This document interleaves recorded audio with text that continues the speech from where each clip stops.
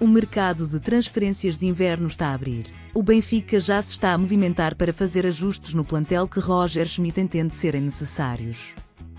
Os encarnados estão interessados em Andreas Skalderup, 18 anos do Nordjylland, atual líder do campeonato dinamarquês, e com contrato até 2024. O dirigente Rui Pedro Brás terá seguido para a Dinamarca e estará no terreno para, de forma direta, tentar fechar os termos de um acordo por este extremo norueguês.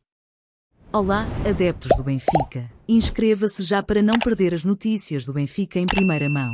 Deixe o seu like para aumentar a nossa comunidade encarnada no canal.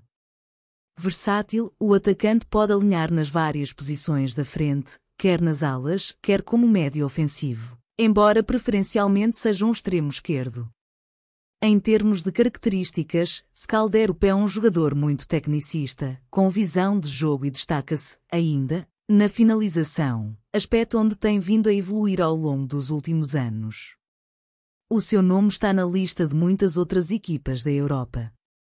Na última janela de mercado foi dado como certo no Sevilha que, segundo notícias na imprensa dinamarquesa, terá sido recusada pelo Nordjylland uma oferta na ordem dos 10 milhões de euros, com bónus incluídos.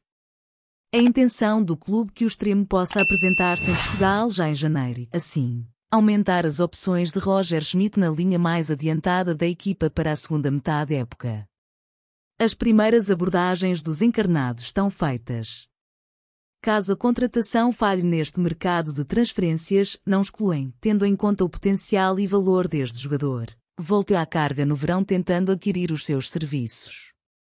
A cumprir a terceira época no Nordjylland, onde entrou em 2020-2021 vindo das escolas do Bodo, Linto, da Noruega, Skalderup tem-se valorizado ao longo da temporada e isso já teve reflexo na sua cotação no sítio. Transfermarkt, na mais recente atualização dos valores dos atletas feito por este portal especializado norueguês passou a ser avaliado em 9 milhões. Isto porque subiu 5 milhões em relação ao registro anterior. Com esta subida passou a ser o jogador mais valioso da liga dinamarquesa, a par de Ivander e de Dreyer, ambos do Midtjylland. Adeptos do Benfica, inscreva-se para não perder as notícias do Benfica em primeira mão, deixe o seu like para aumentar a nossa comunidade encarnada no canal.